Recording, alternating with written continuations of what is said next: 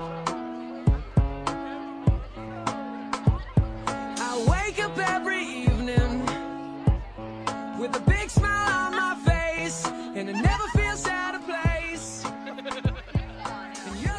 this is an event called Sleep in a Box, and we got it from another high school um, a few parishes over, and it's to raise homelessness awareness.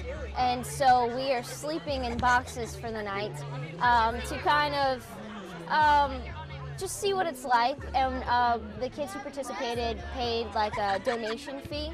And um, that all the money we raised, which is nearly $800, is going to the Covenant House. And uh, we're just kind of not living the true homeless life, but kind of enjoying ourselves a little more. And we're spending the night out here in the football field in our boxes. And we are going to school the next morning. So even if you stay up all night long, we're just going to school the next day. So it's just a different experience we wanted to try. And we just kind of wanted to leave our mark. And as seniors, we thought this would be a great way to do it. You know, to start something and that hopefully the school would carry out for the next few years. And uh, I'm doing my math homework just to make sure that I don't get in trouble tomorrow. He's passing. Right, I'm passing. Passing. Always good. Show him what a tangent. Oh yeah, this Tangent is, the- this is the lines. tangent function. Um, it's pretty good stuff. Pretty intense, like camping. Yeah, like camping. T- camping is definitely intense. What was like the entry fee for each student uh, to come out here? Uh, the, the minimum donation was $3. Three dollars. Three dollars, and uh, we, you know, we wanted to attract people, and people did donate more, and there were people who did not participate that still wanted to donate. So we still fulfilled our purpose, which was also to raise money for the Covenant House. Why did you decide to, to build this? I saw it on a video on the internet, and this kid had like a tank out of cardboard, and I was like, I'm gonna do that. So that's what I did.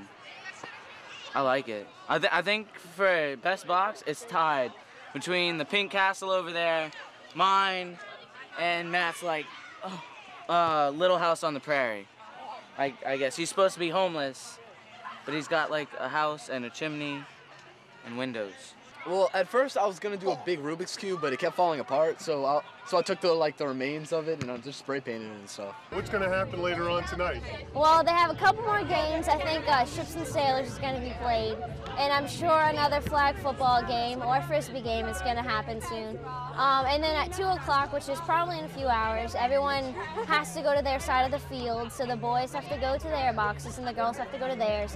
And at two o'clock, that's kind of the wind down, and you could stay up if you want, but nothing will really be happening then. Boys on one side, girls on the other. Boys on one side, girls on the other. Just works out better that way. Um, and in between, there's about a 30-yard section in between where, like, you know, they played games and stuff. So they we're allowed to mingle, but it's just at that time, that was our sleeping quarters. When you see my face up against you,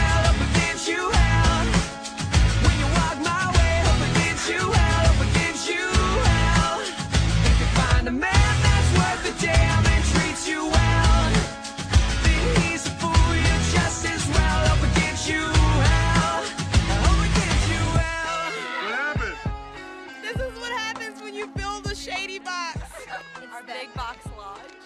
At a boom lodge. Yeah, we're gonna go with that. It's all our initials. Yeah.